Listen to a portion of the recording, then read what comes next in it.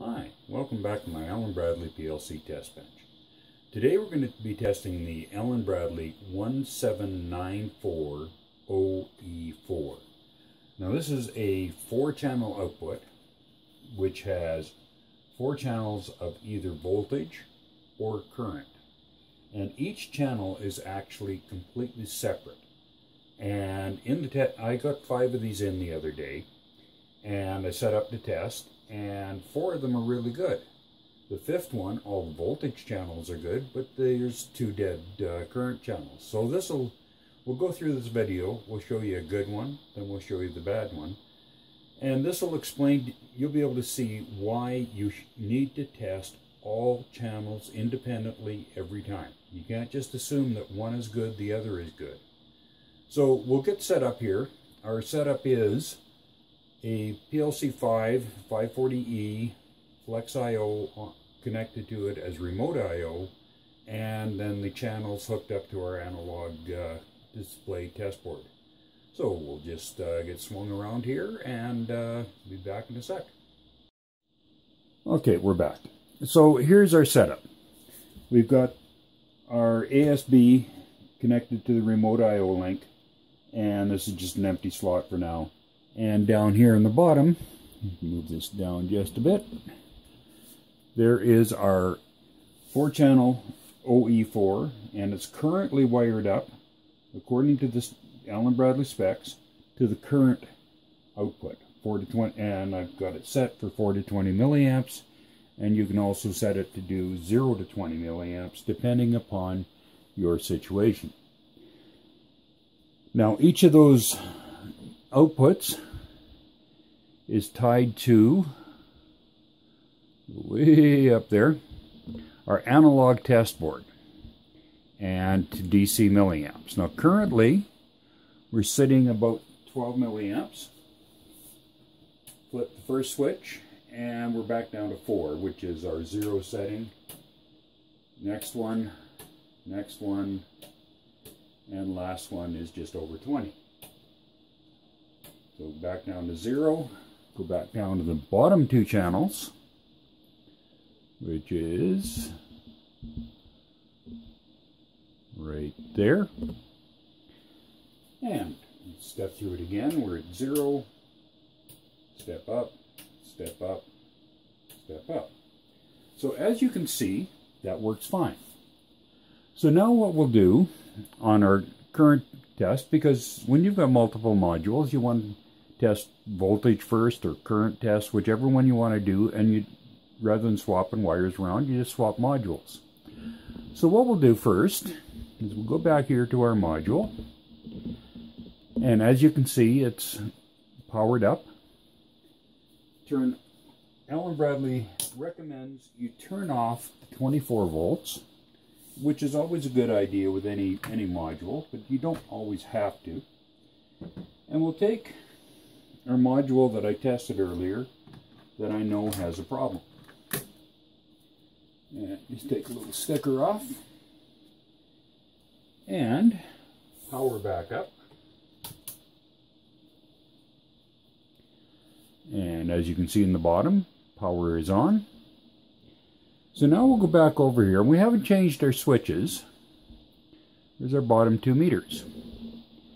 As you can see, and this is channel 3210, uh, channel 3 is setting over 20 milliamps. Channel 2 is just pinned down hard at zero.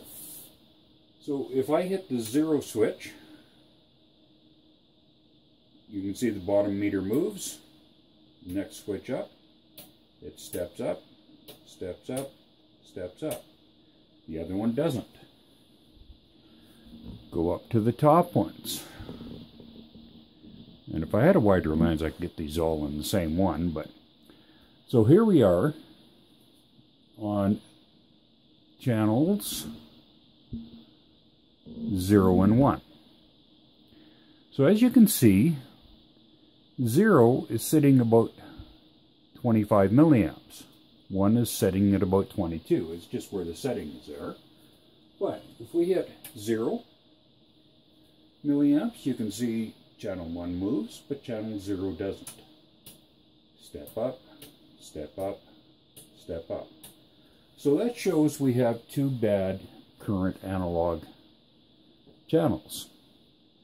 So now to prove the uh, module, what we'll do is I'll stop the video for a sec. I'll change it over to voltage mode.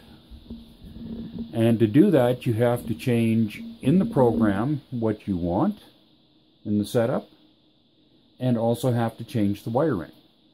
So back in a minute. Okay, so what I'm going to do here first, before we change the wiring or anything around, is we'll go into the uh, PLC 5, go into the setup screen of the block transfer write, or you could do the read, it doesn't matter. And as you can see here, just zoom in a little bit. Okay, there's our set, we're into the setup screen. On channel 0 through 3, everything currently is set for 4 to 20 milliamp. You can pick 2 volts or 4 milliamps, 0 to 10 volts DC, plus minus 10 volts, 4 to 20, or 0 to 20. In our case, we're going to choose 0 uh, plus minus 10 for all channels.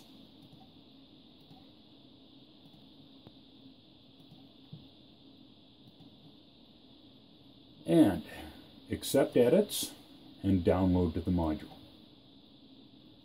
So now this module is set for voltage. We close our screen there.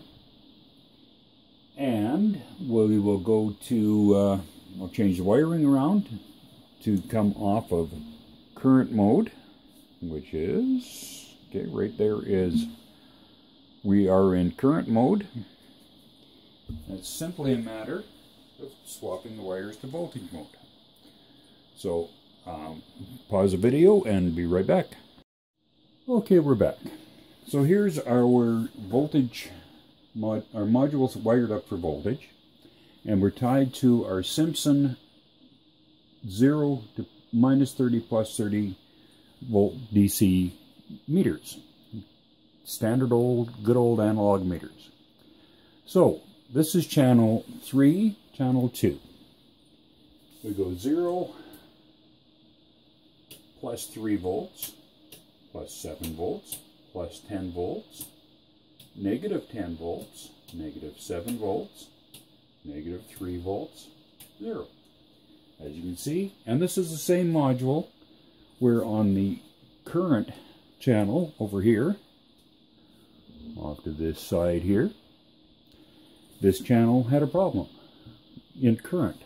But in voltage, it works fine. Move back up to these two guys up here. Sorry for the uh,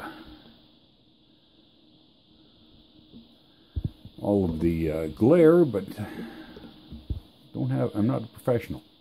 So anyhow, here we are back on our channel 0 and 1. The same test. 0, 3, 7, 10, minus 10, minus 7, minus 3, and 0. So that proves out why you need to test all channels independently on the 1794 OE4. Thanks a lot. Come back anytime. I can try and get some more videos up here of various modules in the next while. Subscribe if you'd like, and have a good day. Bye.